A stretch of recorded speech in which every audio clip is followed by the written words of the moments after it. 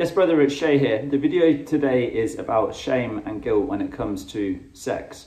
This is a really important one to take on and listen to uh, because if you are struggling with erection challenges and when you go to have sex, you notice a feeling of fear or you just totally avoid it in the first place because you don't want to feel that embarrassment, then this video is for you.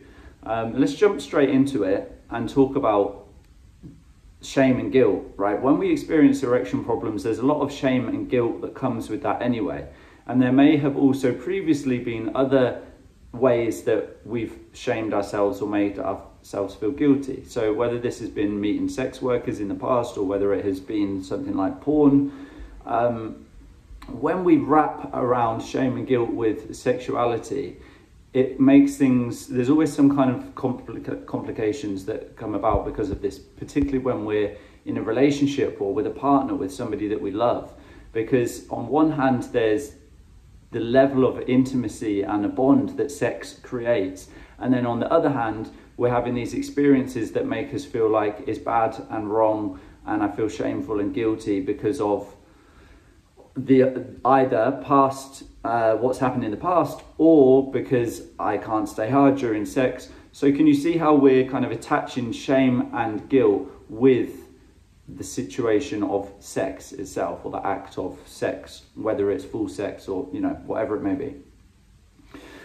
And so what does that mean? Well, the more that we continue to do that, the more that we're basically telling ourselves subconsciously sex is wrong or sex is bad or it's shameful or fearful because we have this part of us that has a, a fear attached to it or a, um, a, a shame stick attached to it every time we go to do it. And over time, we tell that to our subconscious mind more and more, and it becomes stronger. So it's important for us to be able to change that pattern and the first step that I'd like you to do today is a very simple one. It's just to become aware of it, right? When you go to think about initiating sex or finding somebody sexually attractive, just scan yourself and just notice does a feeling of shame, oh no, I can't do that, jump in? Is there any quick thoughts that jump in or a fear of, no, I can't initiate because what if that happens and then I'll feel embarrassed and shame and guilty? Um, so you're looking for this feeling of a contraction, right? Or a, oh, it doesn't necessarily even have to be words at times, but this feeling of like, oh, um, and then the words come that shame and guilt. I can't do this, or that's wrong, or that's bad, or what if I don't get this right, or what if it all goes wrong? So that's the shame and guilt that we layer on top. So it's as simple as that. I purely, I'd like you to just purely scan for if, when it comes to uh, sexual thoughts, having sex, initiating, if you feel that sensation come up in your body, and then what to do next.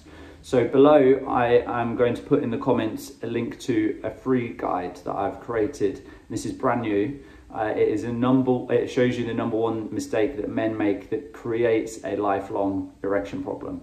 So it's important to get this guide so that you can avoid that problem and avoid having a lifelong erection. So once you've done the action from this video today and just scanned for shame or guilt feeling, head below in the comments and you'll see the link to the free guide. Click on that. It will take you straight to the page where you access the free guide and, and read it and take that information on so that you can avoid making this same mistake.